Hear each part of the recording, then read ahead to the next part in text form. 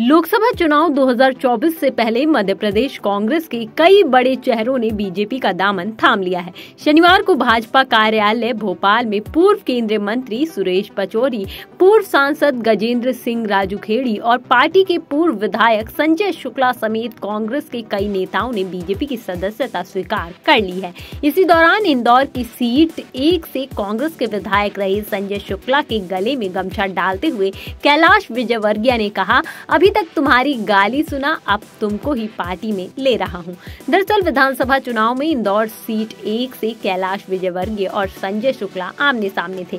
इस दौरान सत्तावन वोटों के अंतर से कैलाश विजयवर्गीय चुनाव जीत गए और मध्य प्रदेश सरकार में कैबिनेट मंत्री भी बन गए। अब लोकसभा चुनाव के दौरान नेताओं का उलटफेर जारी है। मध्य प्रदेश कांग्रेस के कई बड़े नाम बीजेपी में शामिल हो रहे हैं।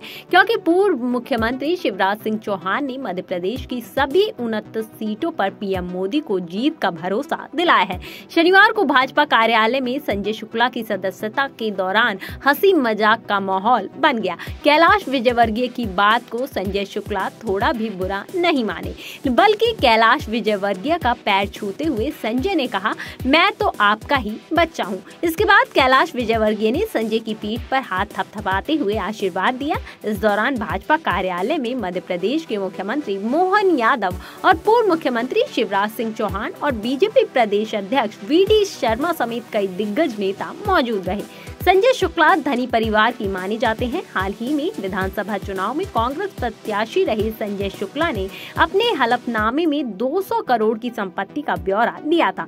2018 के विधानसभा चुनाव में संजय शुक्ला ने बीजेपी के सुदर्शन गुप्ता को हराकर इंदौर एक से सीट कांग्रेस के विधायक बने थे। संजय के पिता भी विष्णु प्रसाद शुक्ला बीजेपी के बड़े नेता रहे हैं। इस तरह संजय शुक्ला का बीजेपी ज्वाइन करना घर वापसी माना जा रहा है।